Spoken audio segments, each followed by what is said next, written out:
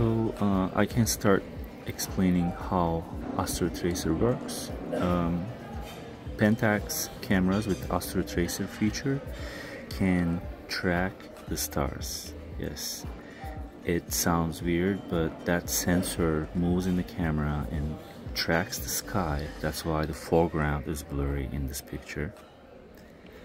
And I can show you another example that with the Astrotracer is off. So in this one, Astrotracer is off. As you can see, the foreground is pretty clear, but the stars are moving.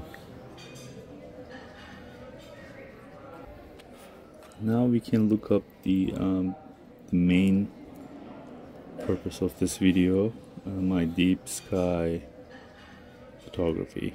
Let's start with Orion Nebula. This one is a 30 seconds long exposure. As you can see, there's no star trails at 135 millimeter focal length.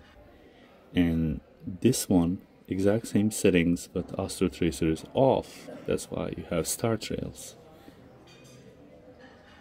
The long exposuring is extremely important for deep sky photography because uh, it's not visible to naked eye and these dimmer objects you need long exposure to gather all the light into your sensor to create a single image.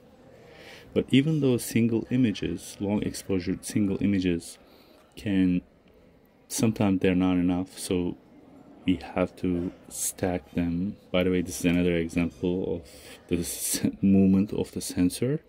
So it's not a gimmick it's a real it's real it's moving the sensor with the exact same speed uh, but the counter direction of earth's rotation. It's crazy. I have I, I got andromeda with the same settings 30 seconds long exposure with astrotracer is on. What i'm going to do is because uh, they're single the, those single images are not enough by itself. There are some imperfections in those images like noise, atmospheric uh, changes.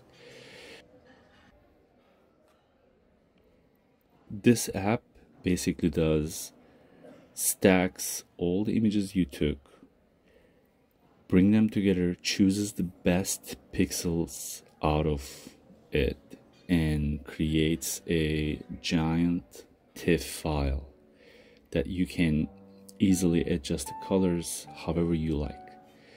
Um, this stacking process can take some time. I will fast forward it and I'm not going to go into details. It's pretty straightforward, honestly. Uh, you will figure it out. Um, after a little wait, I will have that giant 32 bit file automatically saved. Here we go automatically save into the same folder that I have my pictures in.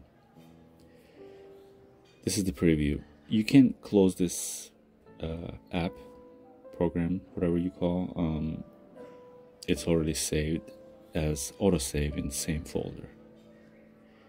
Now I'm going to do is I will open it up with Photoshop the first thing I will do is switching from 32-bit to 16-bit because it's just too much and it's gonna slow down your computer. It's not necessary honestly. And I will crop it a little uh, with crop tool. You don't see on the left here but uh, there's another nebula on the left side called flame. It's really dim right now. It's a little fuzzy patch. But I will bring the bring that up by using sat saturation and uh, level adjusting. After choo choosing my uh, composition, I cropped it. Now I will go to uh, levels and I will do this process multiple times. Um, as you can see that white part is the light data here you can see on the left the flame and flame nebula and horsehead nebula a little bit. Um, I will do it again the levels. Uh, this light data in in the in the middle the white part is the light data and I'm just trying to stretch it slowly without clipping any data. And every time I do this stretching that light information you the details start popping up as you can see in the image this part can be boring but it's really important to know the basic of uh, level adjusting, level stretching, whatever you call. Um, I think I'm done with level stretching. Now I will basically just play with colors and the details. Oh, I forgot to mention, um, I will just use the curves. This is another tool to get more data from that light information. Yeah, it, you can clearly see everything actually. I, I just need to the uh, the core of the Orion in this one is really bright. I just want to reduce that one a little bit. It looks noisy. I will use noise reduction. Let's see how it goes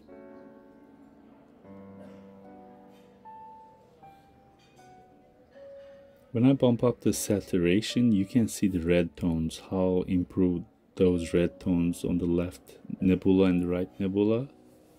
Um, Orion, Flame, and Horsehead Nebula.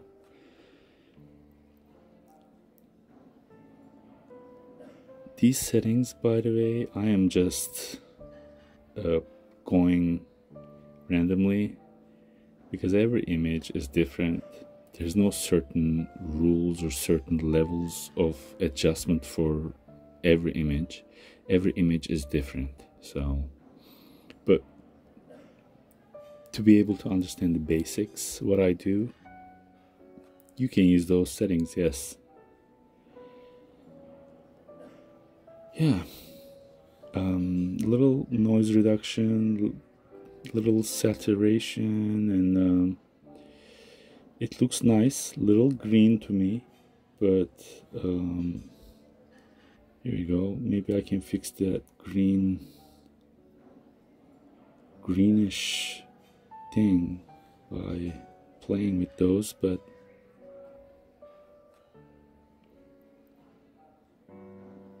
that's better. It's still green. Um, let's see what we can do with this green cast. Okay go I will go to stretch stretches um, levels again. Um,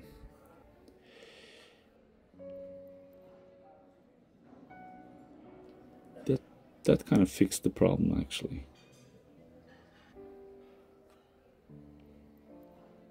Yeah that's basically it. I mean imagine I you only use four pictures. Imagine taking a 100 pictures of the same frame, same image, you would have impressive results. This is coming out from only four stacked image, 30 seconds long, and I will save it at the end. You can save it as TIFF, JPEG, PNG, whatever you like.